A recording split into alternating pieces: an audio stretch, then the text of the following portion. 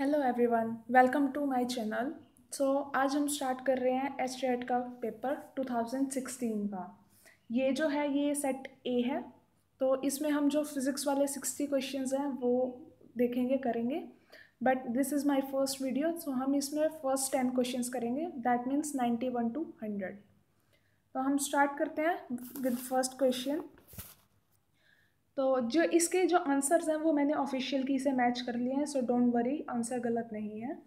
तो स्टार्ट करते हैं। Ninety one question ninety one question में क्या कहा है कि if the frequency of the alternating current is fifty hertz then the time taken by current to rise from zero to maximum इसमें बोला है हमें, अगर हमारे पास फ्रिक्वेंसी फिफ्टी है तो हमें टाइम पीरियड निकालना है। ऑब्वियसली टाइम पीरियड क्या होता है? वन बाय फिफ्टी, यानी वन बाय फ्रिक्वेंसी सेकेंड। लेकिन इन्होंने टाइम पीरियड के लिए कंडीशन दिया ज़ीरो टू मैक्सिमम के लिए। Zero to maximum that means हमारी सपोज़ ये एक वेव है, ये ज़ीरो ये इसका मैक्सिमम यहाँ से यहाँ जाने के लिए। इस पूरी वेव को ट्रैवल करने के लिए टाइम टी लगता है तो यहाँ तक पहुँचने के लिए टी बाय फोर लगेगा टाइम इसका वन फोर्थ पार्ट हो गया। हमने जो टाइम पीरियड निकाला था that was one by fifty इसको फोर से डिवाइड कर दो।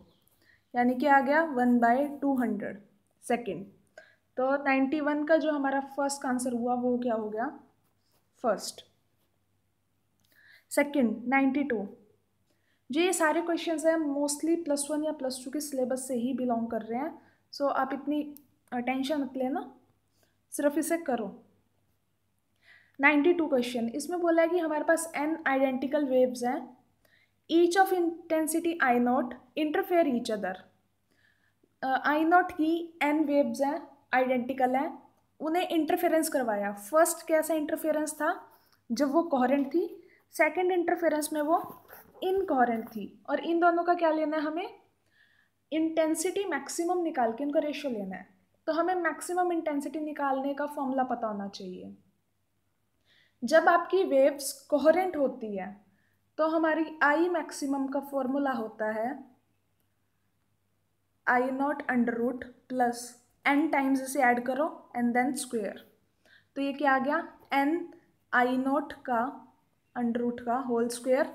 This is equal to N square I not. For coherent, याद रखना इसे। सेकेंड क्या है? इनकोहरेंट। इनकोहरेंट के लिए कैसे होता है? I not plus plus N times that means N I not ठीक है? तो यहाँ पर कोहरेंट के लिए क्या निकला? N square I not incoherent के लिए क्या निकला? एन आई नॉट तो हमारा रेशियो क्या आ गई? एन तो इसका क्या आंसर आ गया?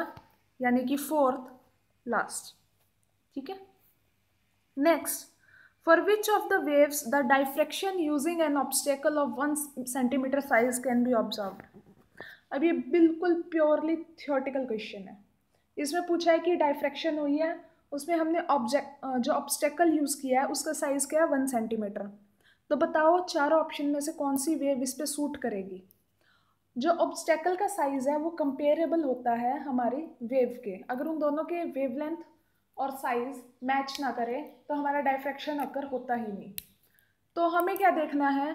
हमें ये देखना है इन चारों वेव्स में से कौन सी वेव है जिसकी वेवलेंथ जो है वो सेंटीमीटर्स में आती है। That is ultrasonic waves okay 94 94 question आपका क्रैमिंग क्वेश्चन है। अगर आपने प्लस टू में जो लास्ट यूनिट होती है कम्युनिकेशन वो पढ़ी है, तभी आप कर सकते हैं। इसको अदरवाइज़ ये क्रैम है बेसिक इसका आंसर है second next ninety five question इसमें पूछा है the rotational analog of momentum in translatory motion is इन्होंने पूछा है जैसे हम ट्रांसलेटरी मोशन में कहते हैं कि मोमेंटम है लीनियर मोमेंटम तो उसी का रोटेशनल में उसको क्या आ, किस वे में रिप्रेजेंट करेंगे? जैसे कि हमारा इनर्शिया जो है वो ट्रांसलेटरी है ट्रांसलेटरी मोशन में हम उसे इनर्शिया बोलते हैं बट जैसे ही हम रोटेशनल में जाते हैं, वो मूवमेंट ऑफ़ इनर्शिया बन जाता है। सिमिलरली जो मोमेंटम है, वो रोटेशनल में जाते ही एंगुलर मोमेंटम बन जाएगा। ठीक है? तो इसका आंसर क्या हुआ? सेकेंड एंगुलर मोमेंटम ज़्यादातर का जब भी वो रोटेशनल में जाते हैं, उनके आगे एंगुलर लग जाता है। बस कुछ एक्सेप्शंस होती हैं।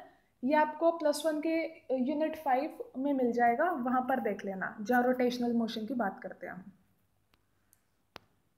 नाइन्टी सिक्स ये थोड़ा सा फॉर्मूले लगेंगे इसमें। चलो, लगाते हैं।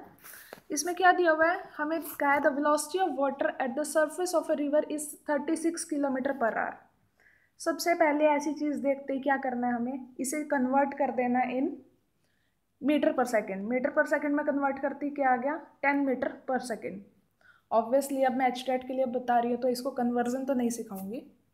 जो रिवर है, उसकी डेप्थ कितनी है?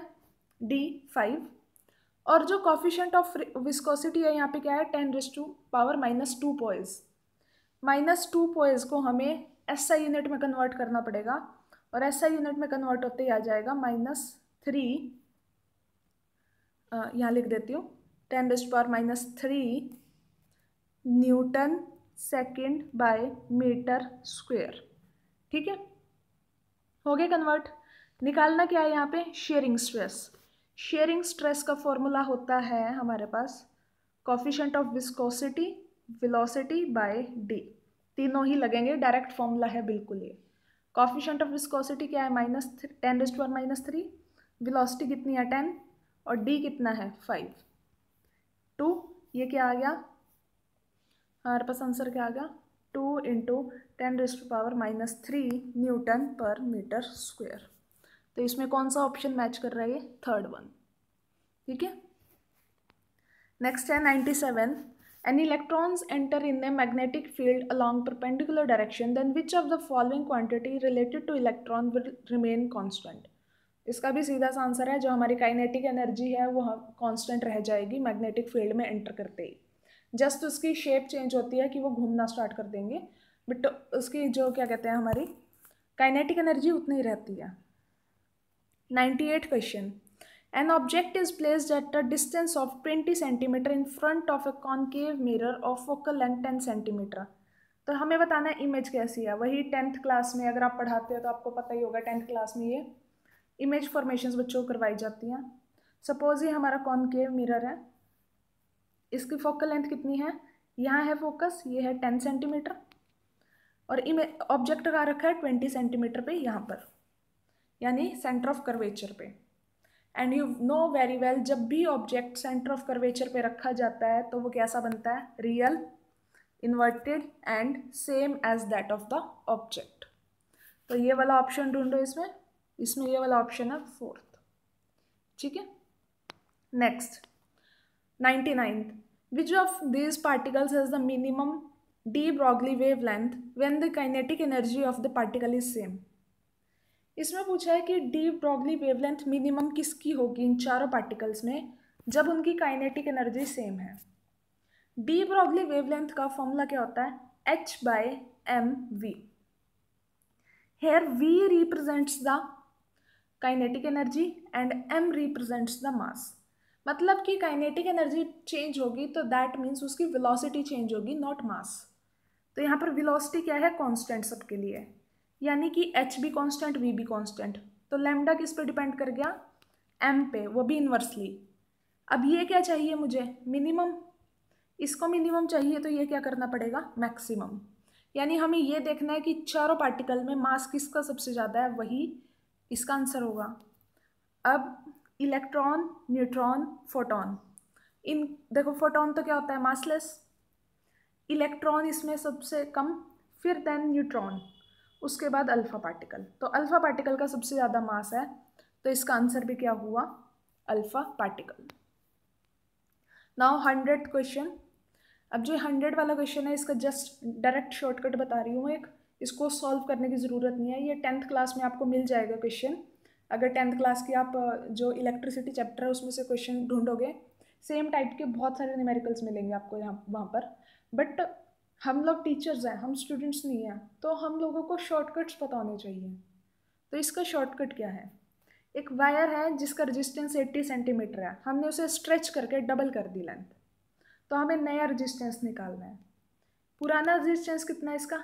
80 ओम जो नया रेजिस्टेंस है, उसका फॉर्मूला होता है एन स्क्वेयर आर और एन वो वैल्यू होती है जिससे उसे डबल ट्रिपल क्या किया होता है।